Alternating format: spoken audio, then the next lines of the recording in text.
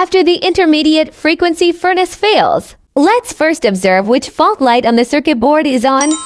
Hello everyone! Today I would like to share with you the main reasons for overcurrent. 1. Whether the AC current and DC current are balanced. 2. Check whether the output voltage of the secondary current transformer of the three-phase current is balanced and whether the waveform is consistent. 3. The current connected to the control board is halved and check whether the set protection value has changed. 4. Measure whether the impedance of the thyristor is too low.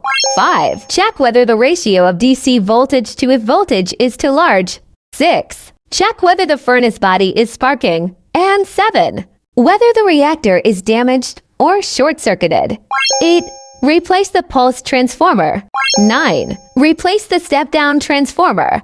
If you have any related questions, you can leave a message in the comment area to communicate and learn from each other.